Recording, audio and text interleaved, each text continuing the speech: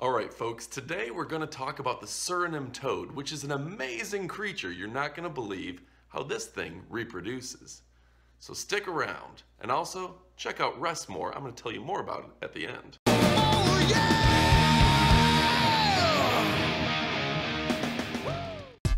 The Suriname toad is best known for its remarkable reproductive habits.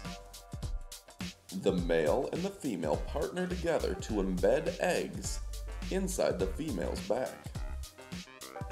A few days after implantation, the eggs bury themselves inside her skin.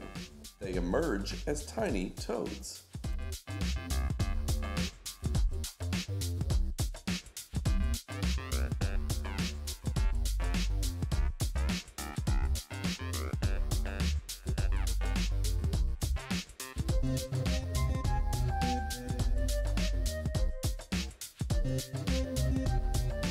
After giving birth to new toads, the mother slowly sheds the thin layer of skin that was used for birth.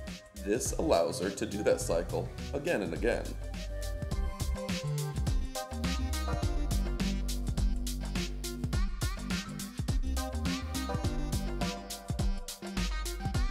People with trypophobia, which is a fear of holes, absolutely hate this toad. I think it's an amazing little creature. It has no teeth, no tongue, and tiny little eyes. It can also stay submerged for over an hour at a time. So go ahead and comment below, are you a fan of the Suriname toad? Or do you hate this little creature and are creeped out like some people? I want to hear from you and see what other people are saying in the comments below.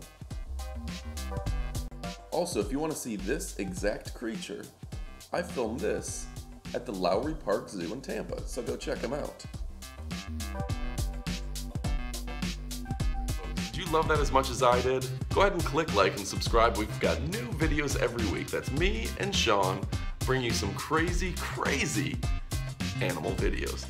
And also, like I said, check out Restmore. I took it last night. Go to buyrestmore.com and uh, you can pick it up on Amazon as well. I took it last night, had some crazy dreams.